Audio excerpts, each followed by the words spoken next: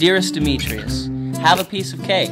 It is not poisoned. Your roommate and friend, D'Artagnan.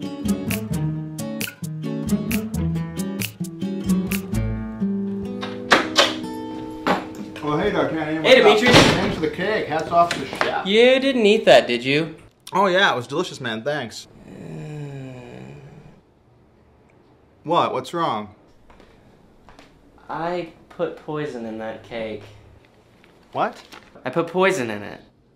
The cake. In the cake. Your note said that it wasn't poisoned. Yeah, well, that was a joke. Oh. God, I guess I didn't get it. Yeah, I should have been more clear, but. I'm sorry, man. I'm sorry. Oh, no, I'm sorry. I- why are you apologizing? I'm, sorry. the one who poisoned you. Oh, God.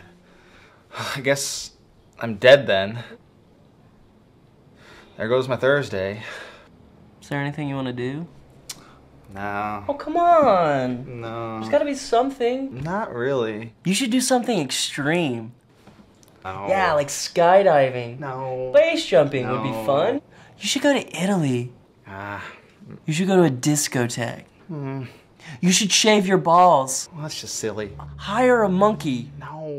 Do a chick. Mm. Do a dude. Me doing that? Why not? Ride on the back of a gigantic bird. No. Crocodile. No way. Eat a turd. No. Come on, there's gotta be something, grumpy butt. Well, okay. there is this one thing.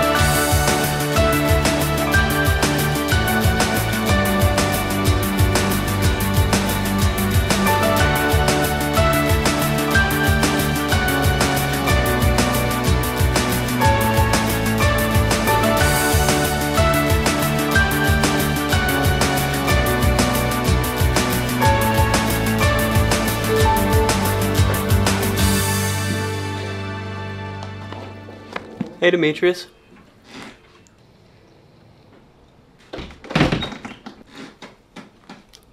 How are the sharks?